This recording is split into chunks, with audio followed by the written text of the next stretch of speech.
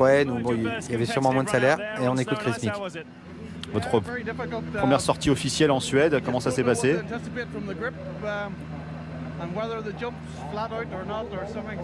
En termes d'adhérence, c'était un petit peu différent euh, à ce quoi je pouvais m'attendre.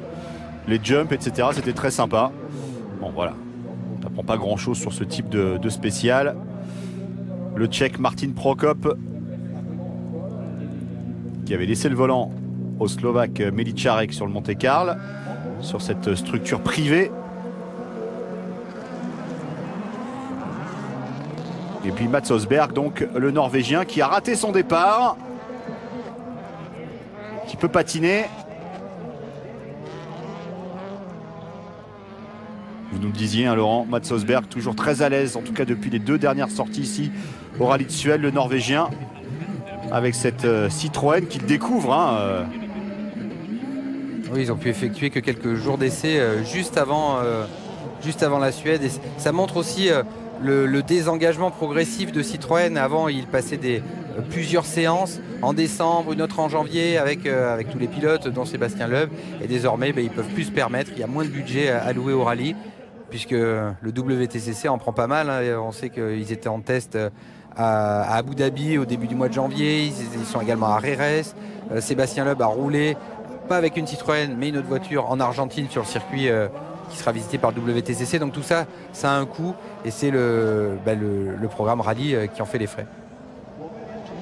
Massosberg qui est toujours un petit peu en difficulté sur asphalte notamment. Il est surtout là pour les rallyes et ce type de rallye, et notamment le rallye de Suède il avait, glace neige. Il avait débuté ici à 18 ans en 2006. On l'a dit, après, il a fait trois podiums consécutifs sur les trois dernières années. Et là, pour s'entraîner, il a fait le Mountain Rally la semaine dernière, une épreuve du championnat de Norvège.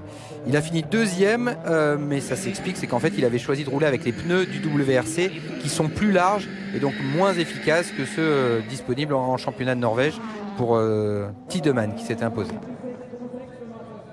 Et Mats Osberg à une seconde d'Ottanak, malgré un départ un petit peu raté. Il rate très certainement le, scratch de la spéciale sur ce départ raté, Mats Osberg. Alors que Procop était très loin. clairement candidat au podium pour ce week-end.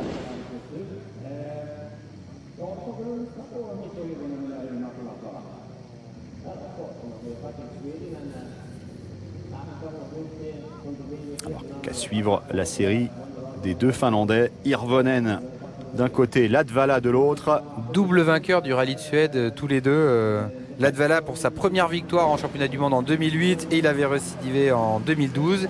Et euh, Irvonen avait gagné 2010-2011. On va écouter Osberg. Un petit peu de terre qui commence à sortir, Matt. Ouais, je pense que j'aurais préféré commencer euh, sur l'autre euh, l'autre piste en fait. Il y beaucoup plus de terre de mon côté. Bon, je laisse une seconde, c'est pas très grave. Toujours assez philosophe, Mats Osberg, très sympa, très disponible. Et donc voilà, Latvala dans la polo blanche, face à Irvonen dans la focus noire. Là, il y a une vraie différence au départ. en termes de grip, ça a l'air d'être beaucoup plus euh, beaucoup mieux motricé côté gauche, du côté de, de Latvala.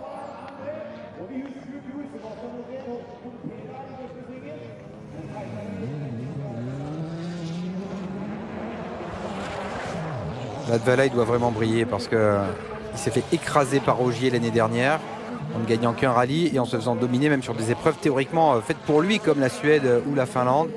Là, il se doit de réagir parce qu'au Monte Carlo encore, il a, été complètement largué. Alors pour une fois, il a terminé. Généralement, il sortait toujours Monte Carlo, mais il a fini à 6 minutes d'Augier. Alors certes, ralenti par une crevaison à un moment, mais on ne peut pas tout le temps lui trouver d'excuses. Ladvala doit réagir, sinon il, sera définitivement numéro 2 chez Volkswagen. Il a mieux terminé le Monte Carlo qu'il n'avait débuté. Il a terminé très fort, notamment en remportant la Power Stage. On aurait cru qu'il était champion du monde. Oui, C'était complètement disproportionné comme réaction, mais ça montre à quel point il est en manque de confiance et il cherche le résultat qui, pourra vraiment le réconforter. Et là, c'est le lieu idéal hein, pour lui. Le rallye de Suède. Remettre les pendules à l'heure avec, euh, avec Augier.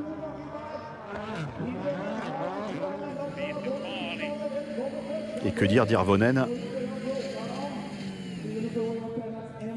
En termes de Ça va confiance. serré hein, malgré son mauvais départ, Irvonen. Et derrière Tanak, tous les deux, 2 dixièmes Oui. et 4 dixièmes. Ou un mouchoir de poche, les deux hommes. Ce qui est plutôt pas mal, ça montre que la Ford est pas larguée sur ce terrain par rapport à la Volkswagen. Tanak, Ladvala, Irvonen, Solberg et Anninen. Pour l'instant, le top 5, ça se tient en une seconde. C'est un rallye où il y a rarement de gros écarts parce que comme les vitesses sont généralement très élevées, ben, euh, c'est plus compliqué. euh, Et un pilote qui a 10 secondes d'avance euh, avant la dernière journée, souvent à la course gagnée. Je rappelle, hein, sur de la glace ou de la neige, on est parfois dans des endroits complètement euh, en courbe à à 110 km/h.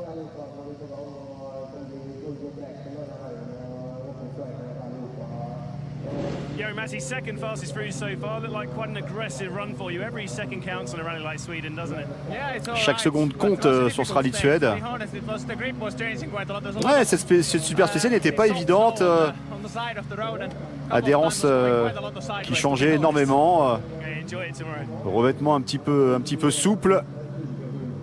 Ah Oui, la neige qui est repoussée par tous les clous sur Ouais, le côté. ouais. Donc euh, si on reste dans les lignes, ça doit aller. En revanche, euh, on peut très vite se retrouver dans la poudreuse. Donc là, on a Mikkelsen face à Pontus Tidemann, qui est justement donc le, pilote qui a gagné le Mountain Rally dont on a parlé euh, en Norvège face à Osberg, mais parce qu'il avait euh, des bons pneus et qu'il l'année dernière était sixième après la première journée. Assez impressionnant, mais son moteur avait fini par casser. Ah, il avait impressionné euh, en termes de ce rallye de Suède. Je me demande si à un moment donné il n'était même pas dans le, dans le top 3 pour du Steedemann sur la fin de la première boucle.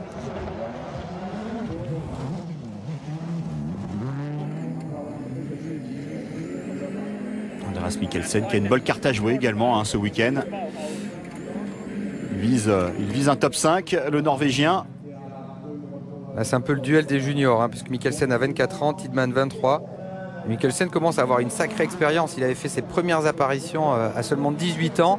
Son père était un richissime Norvégien qui pouvait lui payer euh, des saisons en WRC, mais qui avait été gravement touché par la crise en 2009 et qui n'a pas pu financer la suite de la carrière. Mais Mikkelsen avait du coup euh, récupéré un contrat Skoda en IRC et avait fait euh, de très très bons résultats. Il avait ensuite passé une sorte de casting organisé par Volkswagen avec euh, beaucoup de jeunes pilotes et notamment des jeunes Allemands parce que Volkswagen rêvait d'avoir un pilote allemand. Mais Mikkelsen était le meilleur de ces jeunes pilotes et a été conservé. Bravo à lui, mais l'année dernière, il a quand même peiné face à, à Ladvala et surtout face à Ogier. Il faudrait vraiment passer un cap cette année. Pour l'instant, clairement, statut numéro 3 hein, dans, dans l'équipe allemande. Énorme scratch, deux Ouais. secondes de mieux que tout le monde. Andreas Mikkelsen avec un chrono, le premier à passer sous les 1.34. Mais c'est donc euh, plus vite c'est plus, que l'année dernière. que, que. Et c'est surtout 2 secondes 4 plus vite que l'Advala, voiture euh, identique. C'est voilà, je suis assez bluffé. Ah, Il va avoir le sourire, euh, le bel Andreas Mikkelsen.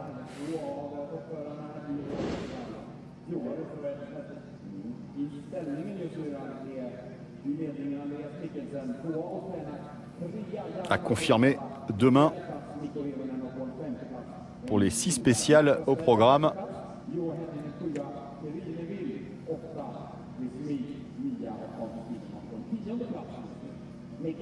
Une grosse prise de risque quand même en, en frôlant euh, les piles de pneus.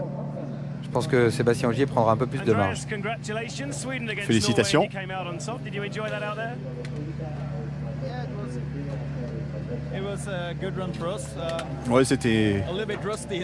Be honest. On était un petit peu rouillé en termes de pilotage, mais euh, une belle spéciale, une belle entame de rallye, une belle façon en tout cas de, de commencer cette épreuve. Et le dernier duel qui va nous, nous concerner, l'affrontement Kubica-Ogier. Le Polonais, ancien pilote de F1, qui euh, s'est reconverti en pilote de rallye. Et puis bien sûr, le tenant du titre, le champion du monde et vainqueur de ce rallye de Suède l'an passé, bien sûr, le pilote des Hautes-Alpes, Sébastien Ogier. Voilà, Ogier devrait euh, gagner son duel. Après, pour le scratch, c'est une autre histoire parce que Mikkelsen a quand même été assez impressionnant. Kubica a tout à apprendre quand même sur ce genre de rallye. Alors regardez, on voit des étincelles par moment, c'est les clous en tungstène qui touchent euh, le sol. Ça montre bien qu'il n'y a plus de glace, en fait, c'est tout simplement. Donc dès que ça touche une pierre, ça fait des étincelles.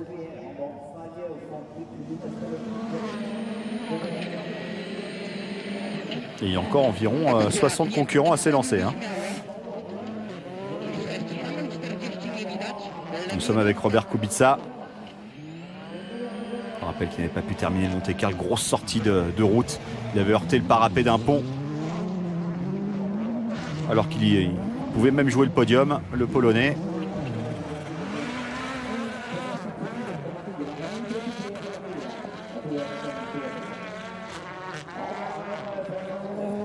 Allez, dans 10 secondes, Sébastien Ogier et Julien Gracia auront fait le scratch ou pas.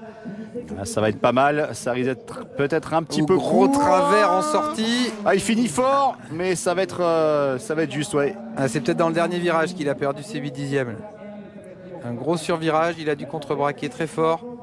Et on se dirige donc euh, par une victoire d'Andreas Mikkelsen sur cette super spéciale de, de Karlstadt.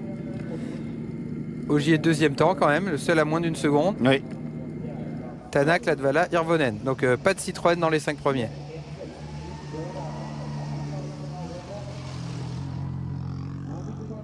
Et les deux, euh, deux Volkswagen aux deux premières places.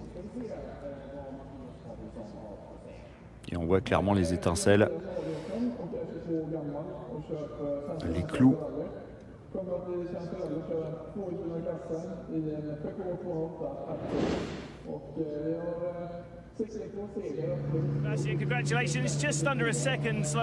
Moins d'une seconde d'écart avec votre coéquipier Mikkelsen. Je Je pense qu'on a démarré sur la mauvaise, la mauvaise file. Il n'y a pas du tout d'adhérence au départ euh, de ce côté-là de la piste. Et bon, ça peut faire la différence. On espère qu'il va pas trop neiger durant la, la nuit pour demain.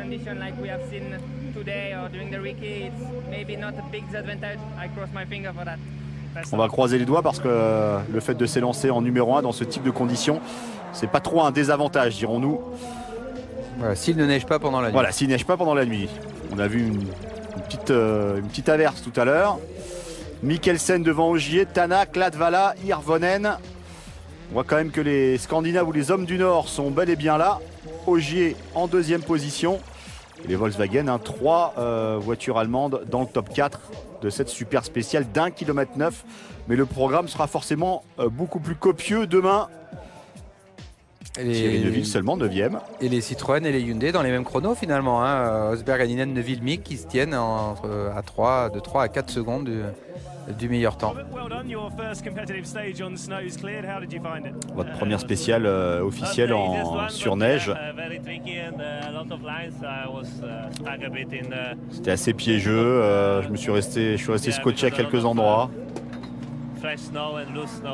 Il y avait de la neige euh, molle, de la neige fraîche. mais je pense que demain, ça sera encore beaucoup plus difficile.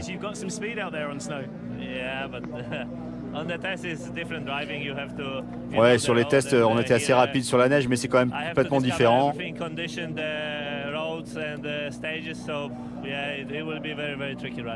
Je pense que ça va être quand même très très piégeux sur ce rallye. Robert Kubica qui se fait pas trop d'illusions, semble-t-il, sur ses performances durant euh, cette fin de, de semaine. On va se, se quitter là, donc avec a priori le scratch pour Andreas Mikkelsen. Ça risque euh, de ne pas être amélioré avec des voitures beaucoup moins Ah oui, puissantes. De- sur les prochains passages, les, les prochains rendez-vous de ce rallye de Suède. Demain, le résumé de cette euh, première journée, on va dire, hein, avec vous, Laurent Dupin, 22h30 sur l'antenne de Sport Plus. Vendredi, 22h30, le résumé, vous l'avez compris, de la, de la deuxième journée, avec un programme très chargé. hein, vendredi, le programme le plus riche du week-end. Et puis euh, samedi, euh, en direct à 10h30 euh, avec Julien Febro et Nicolas Bernardi, la 20e